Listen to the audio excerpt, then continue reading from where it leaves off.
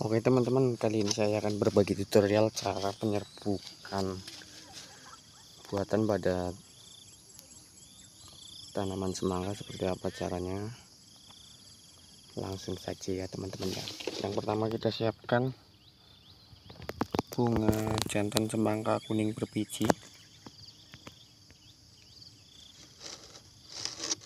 yang serbuk sarinya banyak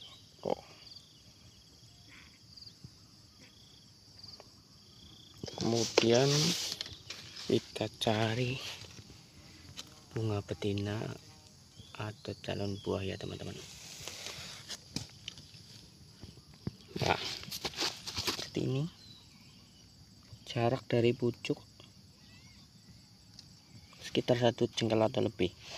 Itu baru boleh di polinasi atau penyerbukan yang besar ya buahnya ya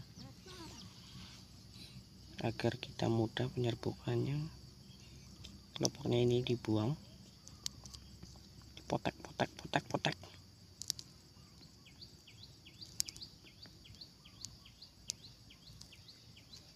aduh jatuh.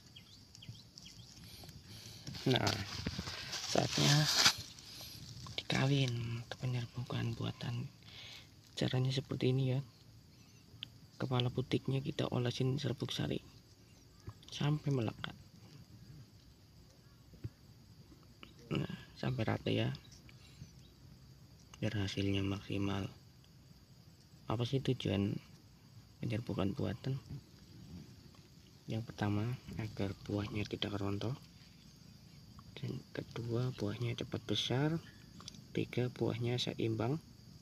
Tidak benjol-benjol ya teman-teman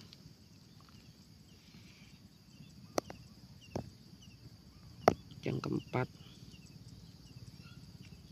pertumbuhannya cepat. Kira-kira begitu.